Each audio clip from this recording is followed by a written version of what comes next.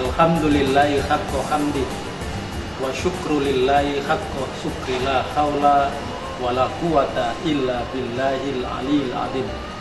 Asyhadu an la ilaha illallah wahdahu la syarikalah wa asyhadu anna Muhammadan abduhu wa rasuluhu la nabiyya ba'da. Qala Allah Ta'ala fi kitabihil karim Qala Nabi sallallahu alaihi wasallam la yatrukun nasa amin amri dinihim li islahi dunyahum illa fatakhallama wa adar min Hadirin anak-anak jamaah sekalian rahimakumullah. Kali ini Ustadz mau menyampaikan tanda-tanda bahayanya orang yang meninggalkan agama.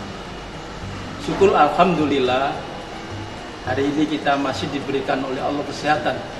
Mudah-mudahan kesehatan yang Allah berikan kita bisa untuk menunaikan dengan sebaik-baiknya. Salawat serta salam tetap terlimpahkan kepada Nabi Muhammad Sallallahu Alaihi Wasallam. Anak-anak hadirin yang berbahagia, kalau kita mengabaikan agama. Kalau kita sudah meninggalkan pengetahuan agama, maka kita akan terperosok yang luar biasa bahayanya.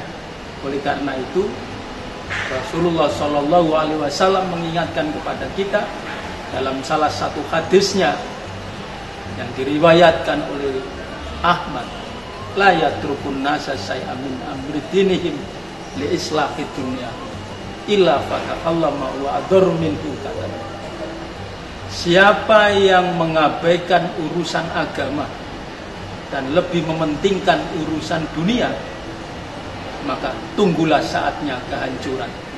Agar senantiasa kita tidak hancur, tidak rusak, maka kita harus memperdalam mengetahui tentang agama. Begitu banyak agama, pelajaran yang harus kita ketahui. Banyak macamnya, termasuk kita mempelajari sholat, kita mempelajari zakat, mempelajari puasa, haji dan sebagainya. Itu bagian daripada kita mengetahui agama Islam. Kalau manusia sudah tidak lagi suka memperdalam pelajaran agama, maka lambat laun manusia tadi akan mudah sekali diombang-ambingkan oleh keadaan. Oleh karena itu kita harus menetapi, harus meyakini bahwa agama ini penting buat kita.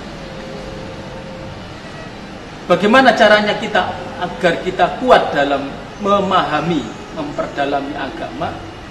Maka pondasi yang harus kita miliki adalah agama. Maka tidak heran kalian disekolahkan oleh orang tua kalian di sekolah agama termasuk SD Muhammadiyah ini dalam rangka untuk memperdalam agar tahu bagaimana Islam sebenarnya yang kita anut. Kalau kita tahu insya Allah tidak akan mudah diombang-ambingkan oleh keadaan.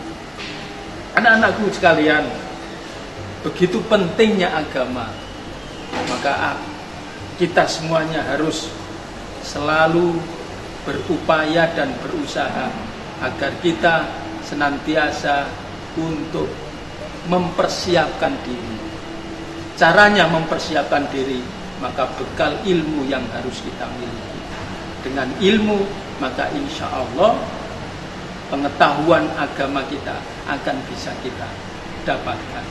Demikian yang bisa sampaikan Ustaz Sultan. Mudah-mudahan ada guna dan manfaatnya khususnya Ustaz Sultan pribadi dan kita semuanya. Adanallahu wa iyyakum ajmain. Bila taufik wal hidayah. Assalamualaikum warahmatullahi wabarakatuh.